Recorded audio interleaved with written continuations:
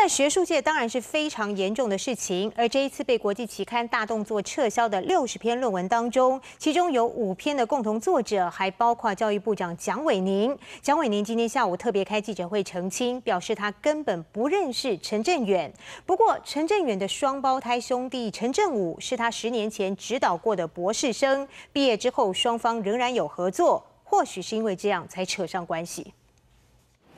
卷入论文疑似造假投稿国际期刊被撤销六十篇的大事件，牵涉学术界最重视的学术伦理，自己又是教育大家长，蒋伟宁不犹豫，第一时间出面说明。我自己针对审查的过程中间是不是有冒名这些东西，我很明确的说，完全不知情，我也不涉入，也没有完全没有关联。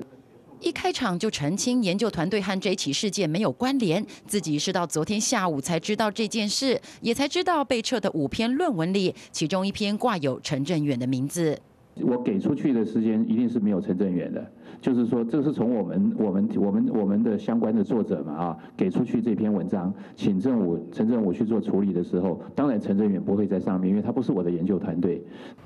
而虽然自己不认识陈振远，不过十年前指导的博士生陈振武是陈振远的双胞胎弟弟。由于陈振武毕业后仍和他合作，而陈振武也与哥哥长期合作，推估因此被调查。的判断是他们是在同一个 citation，就互相引用的 ring 里面。那因为陈振武在我的文章里面，所以只要陈振武有相关的文章在这个杂志，应该通通都会出来。所以你们可以去看，就是说陈振武也有很多个人的跟我跟无色的文章在里面。张伟宁说：“一九八八年回国，一九九二年升等正教授，没必要拼升等积分。而被撤的这五篇论文都是扎实的研究，已和期刊联系，也希望陈振武能出面说明。”记者李小慧、沈志明台北报道。